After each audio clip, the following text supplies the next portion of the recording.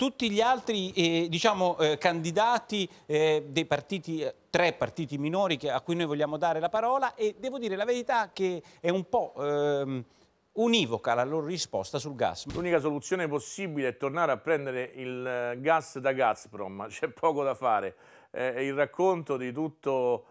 ciò che è il andare a prendersi in due anni quello che servirà all'Italia, quando ce l'abbiamo pronto dai gasdotti Nord Stream 1 e Nord Stream 2, spiega che c'è un'arrampicata sugli specchi delle forze di governo e torniamo ad avere un rapporto sereno con la Russia, torniamo ad avere il gas da Gazprom a 2, non paghiamolo a 200 agli americani che ce lo mandano liquido nelle navi cisterna. E torniamo ad avere bollette normali a poter fare il piano di benzina senza doverci svenare ogni volta.